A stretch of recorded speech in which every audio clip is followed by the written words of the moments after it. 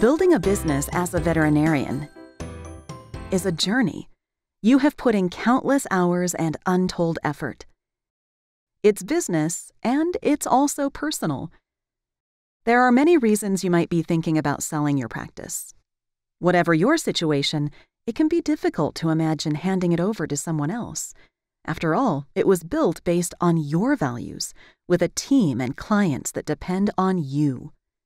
First, understand why you want to sell. Are you looking to grow the business? Do you want more personal time? Spending too much time on administrative duties? Is retirement calling? When you understand why you want to sell, it will help you find a partner who can meet your needs. Look for experienced advisors. You may be the captain of your ship, but that doesn't mean you want to navigate alone.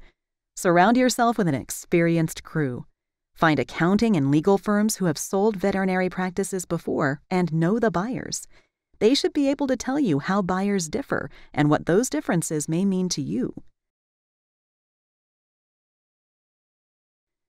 Find a cultural fit. Your business isn't all business. A veterinary practice is a team of people with commitment, passion, and a common vision.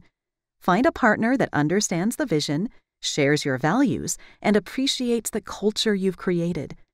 A sale marks the start of a long term relationship, and the time to get to know each other is now, before you make a commitment. Understand your financial goals. Long term financial goals continue well beyond the sale. Work with your advisors to craft a deal that works for you now and for your future. Take your time. It's important to remember that thinking about selling doesn't mean you have to do it tomorrow. This time belongs to you to understand the benefits and evaluate your options. Once you make a choice, it will be a lasting decision that impacts you, your team, and your clients. Take control of the timeline until you feel confident that you've made the right decision.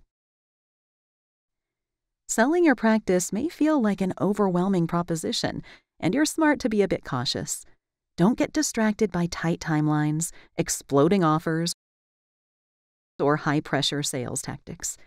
Be mindful of buyers who are hesitant to share references, don't get to know you, and are uninterested in understanding your culture and goals.